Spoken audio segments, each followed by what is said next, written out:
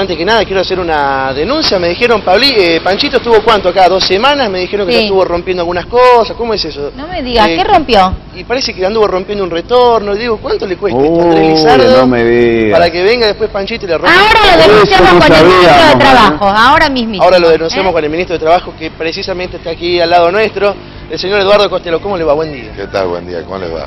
Bien, nosotros acá bastante bien, bueno, conociendo un poco el trabajo que están realizando ustedes, tiene que ver un poco con llevar la información a los, bar- a los barrios, ¿no? Eh, ¿En qué consiste este trabajo que están haciendo? Bueno, precisamente es un programa se llama Trabajo con la Gente, que lo que busca es asesorar a la gente en su lugar. Eh, sacamos eh, en un solo lugar la- el asesoramiento con respecto a tres temas. Trabajadores de casas particulares, todo lo que es inserción de personas con discapacidad al mundo del trabajo, trabajo infantil, y un abogado de la Secretaría de Trabajo que permite el asesoramiento itinerante eh, en los distintos barrios de nuestra ciudad y una vez que completemos la ciudad seguramente el interior. Eh, esto lo que hace es acercar eh, la gestión del Ministerio de Trabajo a la gente. Hay muchos salteños que no pueden llegarse a Bolívar 141, que es la Secretaría de Trabajo, o al Ministerio para evacuar sus consultas con respecto a lo que es su relación de trabajo, a poder evacuar cualquier otra inquietud con respecto a los temas que abordamos a diario en el Ministerio. Entonces, la idea es sacarlo, brindar un servicio a la gente asesorándolo eh, en su barrio, ¿no? generalmente en donde más se concentra eh, los vecinos en el barrio, en este caso en Solidaridad en la avenida principal. Bien, eh, hemos visto en este tiempo que hemos estado que la gente se va acercando, tiene algunas dudas, algunas consultas. Ahora, ¿cuáles son las inquietudes más importantes de la gente o las que usted- ustedes han eh, logrado sondear, ¿no? son las más eh, importantes? Acá se vieron principalmente todo lo que son inquietudes con respecto a trabajadoras de casas particulares. Eh, en la barriada hay muchas mujeres principalmente que están trabajando y desempeñándose como, como trabajadoras o como colaboradoras en, casas particulares, principalmente sobre escalas salariales, sobre cuestiones de horarios, cuestiones de vacaciones. Eh, también hay inquietud por parte de- del director del hospital con respecto a trabajar en conjunto un, programa de concientización en erradicación del trabajo infantil y en inserción de eh, personas con discapacidad, así que se está armando conjuntamente con el Ministerio de Salud y con el Ministerio de Derechos Humanos una capacitación en el seno de- del, del Hospital Papa Francisco, eh, conjuntamente con todos los centros de salud que nuclea este hospital, para que todos los actores eh, de la salud, ya sea profesionales de la salud o enfermeros, puedan ser colaboradores directos, entendiendo de que ellos son los que atienden y asisten a los, a los niños en nuestra, eh, de esta barriada o de estas barriadas que realmente es muy grande, Salta se ha expandido y mucho, y hoy es necesario buscar y acercarle estas propuestas a la gente. En este trabajo, digo, que ustedes hacen en los barrios, seguramente han detectado algunos problemas, como recién mencionaba, el tema del trabajo infantil, trabajo informal, eh, la inclusión de personas con discapacidad. Ahora, eh, en este sondeo, en este trabajo que vienen realizando, ¿cuál es quizás la batalla más fuerte que hay que dar en relación a estos problemas? Y la informalidad en el trabajo, sin dudas. Eh, para empezar, y la inquietud principal... ¿A cuánto llega la informalidad en, en Salta? Nosotros estamos casi en un 30%. Se ha bajado mucho, se ha trabajado para bajar mucho en estos seis años. Queda mucho por hacer. Hay que potenciar las herramientas que tenemos, la inspección de trabajo, le- la, aplicación de sanciones. Nosotros empezamos el año pasado a, a clausurar utilizando una herramienta que no se había usado nunca para, para el tema de informalidad en el trabajo, como es clausurar el negocio cuando un emprendimiento es reticente a regularizar los trabajadores y ya tiene una, una multa firme anterior. Así que todo, la informalidad del trabajo sin duda es uno de los, de, los desafíos. Bajar los índices de informalidad es un desafío, la erradicación del trabajo infantil es otro. Y sin duda eh, trabajar y potenciar la inclusión a través del trabajo. Nosotros entendemos, y el gobernador así nos manda, eh, de trabajar por la gente, por el que más necesita eh, de nosotros, que es el que necesita precisamente del Estado. Aquel que necesita del Estado eh, está en buenas condiciones. La gente puede venir a acercarse a este lugar y eh, tratar de realizar las consultas para poder regularizar su situación, como así también en algunos casos denunciar eh, trabajo en negro. Así es, ellos vinieron y evacuaron. Es, es el mismo, eh, la misma atención y el mismo servicio que prestamos en la Secretaría de Trabajo se presta directamente desde este, este lugar, del gazebo, en donde está el programa Trabajo con la Gente. El mismo asesoramiento y se le canaliza la inquietud ante cualquier denuncia o ante cualquier inquietud que pueda llegar a tener. Incluso existen inquietudes que no tienen nada que ver con trabajo, pero de todas maneras las llevamos y gestionamos con los organismos pertinentes para que pueda para que puedan tener una respuesta, entendiendo de que muchas veces es muy difícil de que la gente se acerque a, los organismos por cuestiones de tiempo, de trabajo, de falta de transporte o lo que sea. Acercamos eh, la gestión a la gente. Está Cecilia Batista en los estudios de Cable Express, eh, la voy a dejar en comunicación con ella. Ceci, te escucha el ministro. ¿Cómo le va, ministro? Buen día, estamos acá con Pablito Rivadavia, gracias por acompañarnos. ¿Cómo estás, Ceci? Pablito, buen día. Buenos días. Bueno, muchas gracias eh, por estar con nosotros en el móvil. La consulta era, ya que hablamos de las denuncias y esto que le pasa a la gente, bueno, a veces hay temor, ¿no?, de denunciar por miedo a perder el puesto de trabajo, por perjudicar a un compañero y demás. Cuéntenos un poquito qué pasa con respecto a esto, si hay estadísticas con respecto a las denuncias que reciben y cuáles son las más comunes. Sí, a ver, eh, como lo explicamos siempre y alguna vez en tu programa también lo explicamos, las denuncias son anónimas para preservar la fuente de trabajo. Entendemos de que efectivamente pasa como vos lo marcás. Muchas veces ante la denuncia del trabajador pone en riesgo la fuente de trabajo porque en represalia eh, directamente lo desvinculan y de ahí el, el trabajador eh, no solamente pierde la capacidad de, registrarse, sino también la fuente. Así que la idea es de que sea anónima, buscar las estrategias necesarias como para preservar eh, al trabajador, sin duda, y para que la, para que la inspección sea efectiva. Nosotros eh, tenemos todo un equipo de trabajo que, con la experiencia que le da el tiempo y con la experiencia que le da la calle y las distintas inspecciones, han mejorado muchísimo la eficiencia de la inspección, la eficacia y la eficiencia de la inspección, en donde ante la consulta del trabajador se le pide los parámetros eh, de la relación de trabajo y se ha podido detectar a muchísimos trabajadores que eran escondidos o buscarle la vuelta para el horario porque por ahí se juega mucho con la, con la doble jornada, hay un trabajador registrado eh, como media jornada, pero efectivamente está trabajando más de ocho horas. Entonces, poder dejar abierta la inspección y poder replicar esta inspección en horas de la tarde o al otro día.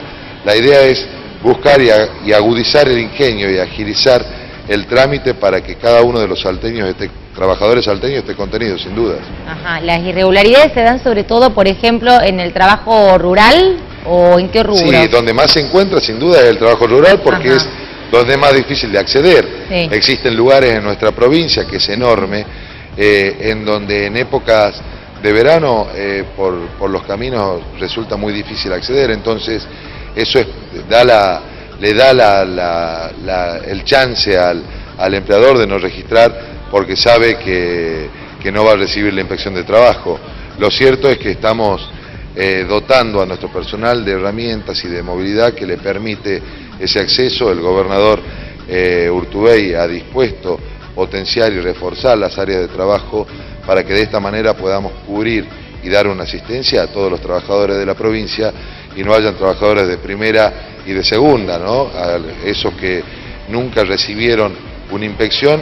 La verdad que nosotros tuvimos experiencias muy gratas en donde al momento de la inspección se sorprendían tanto el empleador de haber sido inspeccionado como de los trabajadores de que lo estén asistiendo, así que vamos a seguir por ese camino, vamos a potenciar las inspecciones y vamos a buscar bajar índices de informalidad, haciendo entender a los, a los empleadores que es más barato tener a sus trabajadores registrados que pagarnos las multas a nosotros. Ahora, eh, ministro, justamente vinculado al tema de las inspecciones, eh, nos han llegado a nuestro medio algunas denuncias, posiblemente esté al tanto, eh, de casos en los que se realizan las inspecciones, pero las personas encargadas de realizarla avisan con anterioridad que van a ir hacia ese lugar, dando de cierta forma la posibilidad al empleador de que esconda a los trabajadores, como se ha dado en muchos casos, de esta forma zafar de la inspección. Eh, ¿Se está al tanto de esto? ¿Hubo alguna especie de trabajo al respecto? A ver, se trabaja muchísimo. En todo eh, ámbito inspectivo hay variables que por ahí a uno se le escapan. La idea es buscar eh, que ese trabajador que ve ese tipo de relación se comunique directamente con la autoridad. Si tiene alguna duda o considera de que ha pasado una situación como esta, que se comunique directamente o con el secretario de Trabajo o con el ministro de Trabajo. No hay ningún inconveniente y de esta manera nosotros vamos a lograr que esa inspección se haga. Se haga y se cumpla como se tiene que cumplir. Eh, efectivamente, en algunos casos, no ahora, sí al principio de la gestión hemos tenido inconvenientes sobre estos eh, sobre este tema. Entonces, eh, directamente que la gente que vea que tiene algún inconveniente o que habiendo hecho la denuncia no se produce la inspección o hay algún tipo de evento que ellos consideren dudosos o, vidriosos que nos comuniquen directamente con el secretario de Trabajo, con el ministro de Trabajo, que vamos a articular absolutamente todos los, los mecanismos que tengamos que articular para que esa inspección se haga. Costello, ayer salía publicado en el boletín oficial una modificación que realizó la FIP en cuanto a los, empleados en, negro, en el cual las sanciones para los comerciantes irían de 3 a 5 días de clausura. Aquí en Salta esto ya también se está aplicando en las inspecciones. Eh, ¿Cuál era que se, lo, qué era lo que se detectaba también? A ver, nosotros tenemos la clausura dentro de lo que es la ley provincial de conformación de la, de la Dirección de Trabajo, vieja Dirección de Trabajo, hoy Secretaría de Trabajo, eh, en donde efectivamente no se aplicaba, no se aplicó nunca porque la gravedad de la, de la multa o de la sanción se considera suficiente para eleccionar al empleador. Lo cierto es que hay muchos empleadores que han puesto la multa como un costo más dentro, del, dentro de lo que es el giro empresarial y eso eh, nos no permite registrar al trabajador, o sea, el efecto de la multa no es tal. Entonces empezamos a aplicar desde el año pasado eh, la, sanción más gravosa, que sin dudas es eh, la clausura, que en nuestro caso va hasta 10 días de clausura y se levanta única y exclusivamente con la presentación de las altas tempranas de los trabajadores con la fecha de ingreso que ellos han denunciado en la planilla de indagación. ¿El año pasado se registraron clausuras eh, de este tipo? Sí, efectivamente la clausuramos en capital y clausuramos en el interior y este año, en lo que va del año, llevamos tres clausuras también. O sea, vamos a utilizar la herramienta de la clausura eh, porque consideramos que es una herramienta válida y útil y que nos ha permitido muy buenos resultados. Al momento de la clausura es a la tarde en donde nosotros ya tenemos las altas tempranas de los trabajadores.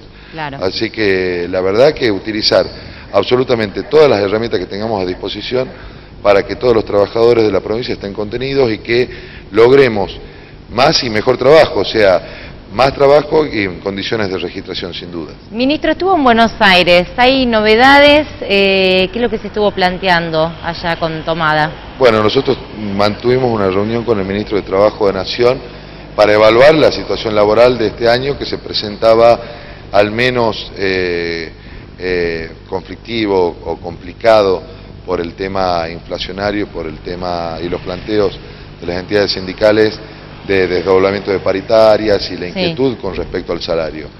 Lo cierto es que se evaluó todo, todo lo que eran los planteos, se vio la posibilidad de que en estas épocas que se tornan difíciles, como ya pasamos la crisis del año 2009, potenciar todas las... Eh, eh, las herramientas que tengamos a disposición para contener trabajo, para garantizar las fuentes de trabajo en primer lugar y que esas fuentes de trabajo sean en condiciones de registración como recién te lo marcaba. ¿Por qué?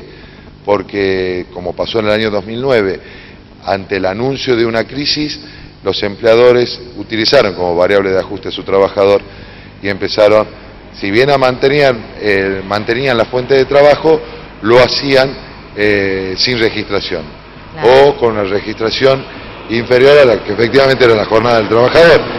Entonces, lo que se busca en este caso eh, es lo mismo, ¿no?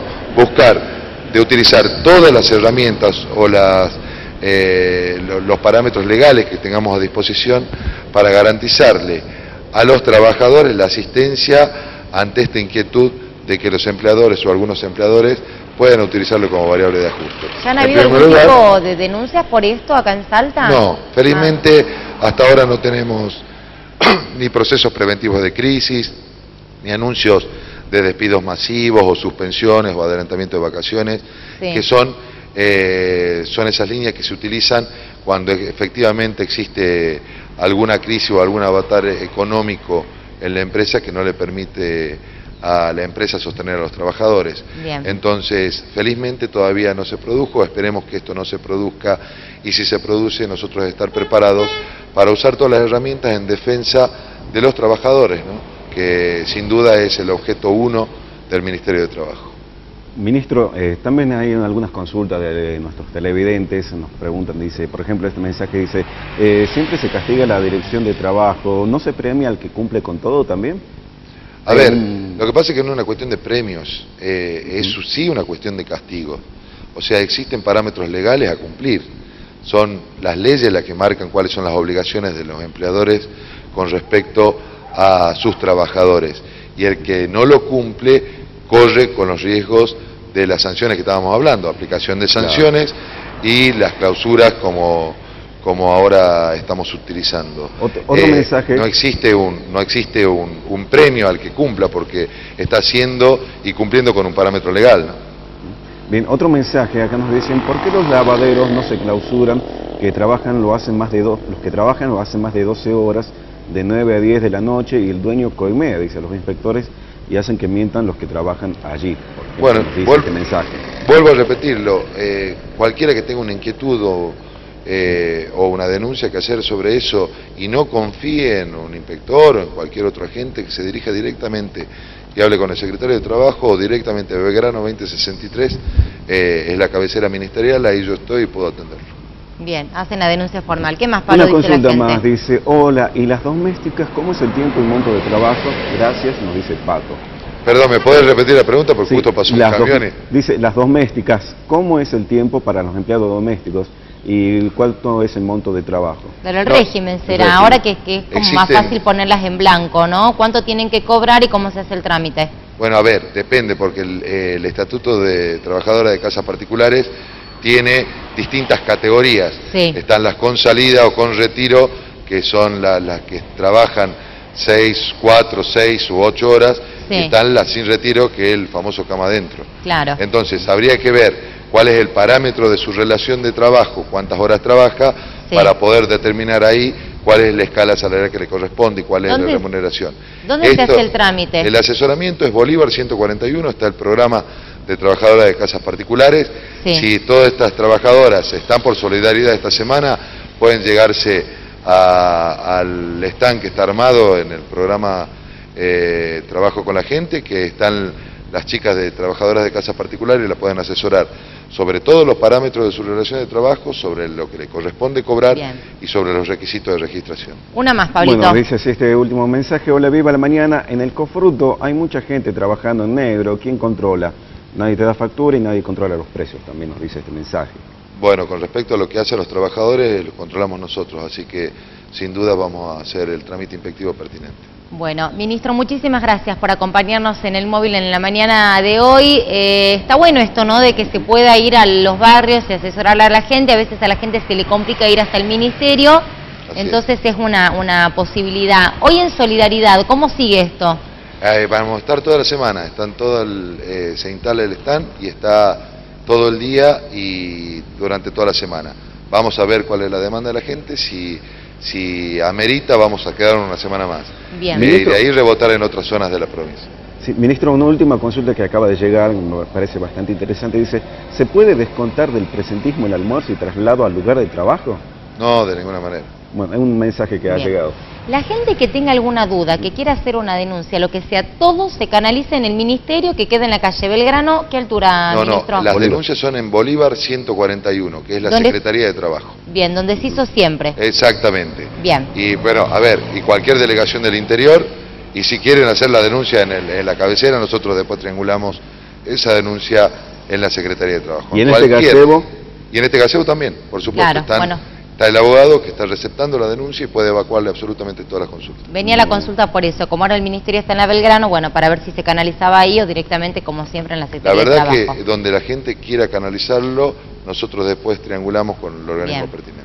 Gracias, Muchísimas ¿eh? gracias. Gracias Muchísimas gracias. Gracias a ustedes. Que tenga un buen día. Igualmente.